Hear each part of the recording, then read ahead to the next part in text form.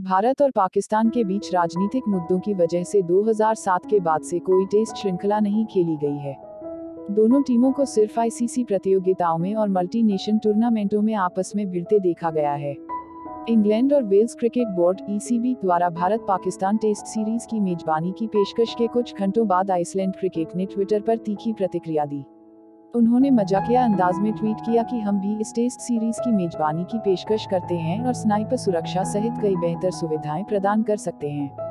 Iceland cricket ने tweet किया कि हमने सुना है कि इंग्लैंड और वेल्स क्रिकेट बोर्ड, ईसीबी, ने भारत और पाकिस्तान के बीच टेस्ट सीरीज़ की मेजबानी करने की बात की है। हम आधिकारिक तौर पर एट आईसीसी घोषणा करते हैं कि हम भी ऐसा करने की पेशकश कर रहे हैं और जून और जुलाई में लगभग 24 घंटे की दिन की रोशनी के साथ साथ मैच को कवर करने वाले बेहतर ट्वीट भी कर सकते हैं।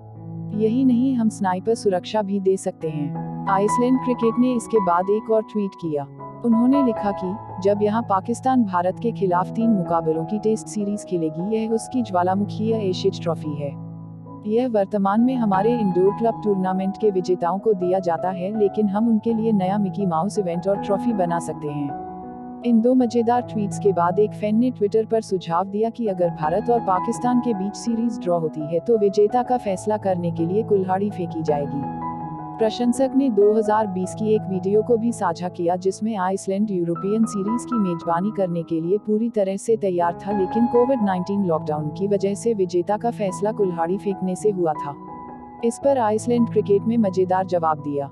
आइसलैंड क्रिकेट ने प्रशंसक के ट्वीट पर जवाब दिया कि, हम नए नियम का सुझाव देने वाले कोई नहीं होते हैं लेकिन इस वीडियो को देखते हुए निश्चित रूप से एक बात कही जा सकती है कि अगर भारत और पाकिस्तान के बीच तीन टेस्ट मुकाबलों की सीरीज़ ड्रॉ हो जाती है तो हम इसे अपना सकते हैं। कोई ना कोई उस ज्वालामुखी एशियज ट्रॉफी को घर ज़रूर ले जाएगा।